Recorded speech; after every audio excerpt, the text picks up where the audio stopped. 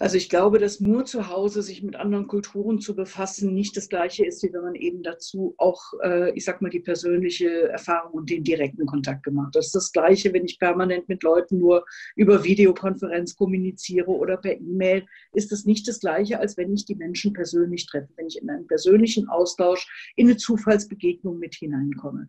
Ähm, dass nicht per se jeder Urlaub auch wirklich zur Bildung taugt, äh, ich glaube, darüber brauchen wir nicht zu diskutieren, sondern es hängt immer davon ab, wie weit man sich bei seinen Reisen auch auf die andere Kultur einlässt, auf die andere Lebensweise einlässt, versucht in Kontakt mit Menschen zu kommen. Ich sage mal, ich kann mich in meinem Hotel einbunkern, äh, sitze den ganzen Tag am Pool und lese mein Buch, dann ist es eigentlich vollkommen egal, wo auf der Welt ich das tue.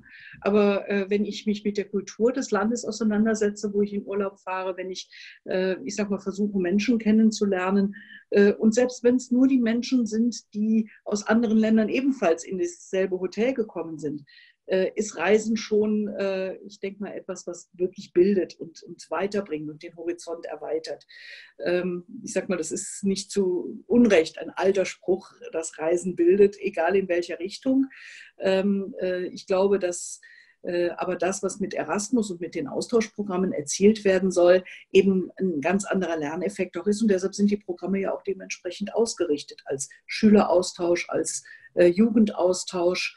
Äh, oder selbst auch beim äh, Interrail-Ticket waren ja auch, ich sag mal ja, Bedingungen mit dran geknüpft, dass man vorab bei der Bewerbung auf das Ticket, weil wir nicht jedem das Ticket zur Verfügung stellen konnten, sagen musste, was man bei seiner Reise alles machen will, was man besichtigen möchte, wo man hingehen will. Wir hatten es ans Kulturerbejahr geknüpft.